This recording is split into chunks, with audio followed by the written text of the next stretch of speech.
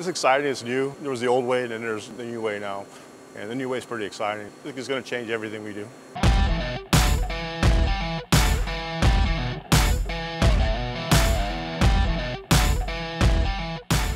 I think the future for additive manufacturing, our role is going to be very important. Uh, it's going to give the fleet the ability to possibly print the stuff on the ship as they need it, when they need it.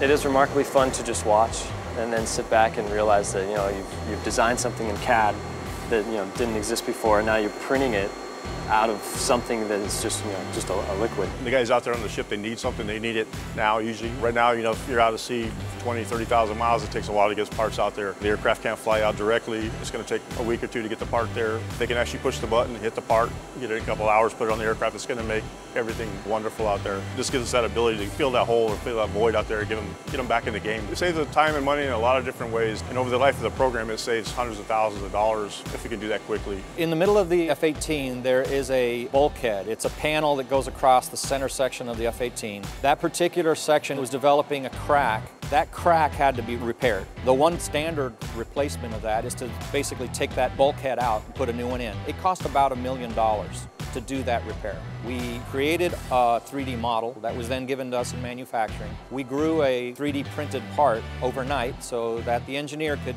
essentially do that fit check. With that nod and that approval, we then went on to create the metal one. We are estimating that the cost savings there is around $700 to $800,000.